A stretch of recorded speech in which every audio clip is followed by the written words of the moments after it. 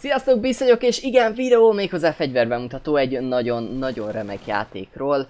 Call of Duty Ghost a címe, de mi lenne, ha elvonatkoztatnánk erről a játékról, és tényleg magáról a fegyverről beszélnénk, arról a koncepcióról, amit megalkottak, csak éppen nem úgy sikerült a játék, ahogy az mondjuk játszható lehetne PC-n, de sokkal vidámabb lenne a videó, ha erről nem beszélnénk, hanem tényleg magáról a koncepcióról, hogy hogy is sikerült ez a fegyver, ugyanis ez a játék legerősebb submachine gunja. És ez miért is érdekes számunkra? Hát azért, mert nem csak Call of Duty Ghost-ban található meg a Vector, hanem Black Ops 2-ben és MV2-ben is, viszont az utóbbi játékban a leggyengébb fegyverről beszélhetünk, egy olyan MV2-ben, amely az áttörés nyújtotta a Call of Duty szérába. Tehát emiatt lett olyan populáris a játék, és emiatt növekedett meg rohadtul a bevétele ennek az Activision nevű cégnek, aki kiadja természetesen a játékot.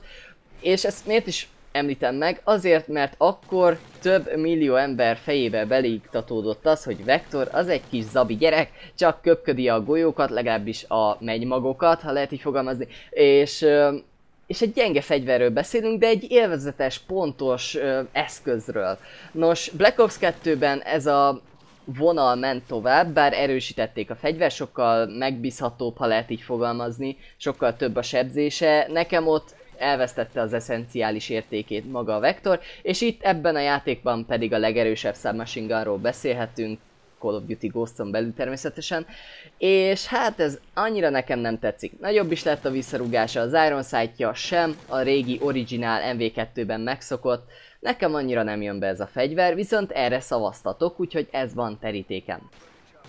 A fegyversedzése 45-től 20-ig terjed, viszont nagyon kicsi a hatótávolsága, ugyanis 18 méteren belül tudunk csak 45-öt sebezni, és valami iszonyat gyorsan esik le a damage 7 méteren belül esik 25-öt. Ez azt jelenti, hogy testre 3-5, fejre 2-4 találat szükséges, ugyanis fejes szorzója ugyancsak 1,5-ös. Most jön a lényeg. A 3 golyós hatótávolsága 21 méter, tehát 3 méter alatt, ugye 18-tól számolunk el 21-ig, ö, folyamatosan csökken a fegyver sebzése 34-ig, utána átesünk ugye a hold ponton, utána 33-at sebzünk, az pont nem három találat, hanem négy tehát vigyázni kell a fegyverrel, érdemes rá a muzzle használni, ugyanis akkor a három golyós hatótávolsága 25 méterre növekszik, az már egy elfogadható mennyiség, még egy submachine gun is, vagy akár még egy assault fegyverről is beszélhetünk, 25 méter hatótávolság, ja, az úgy egész jó. A fegyver RPM-e 759-es, ezzel a leglassabb submachine gunról beszélhetünk, ugye ez értelemszerű, hisz a legerősebbhez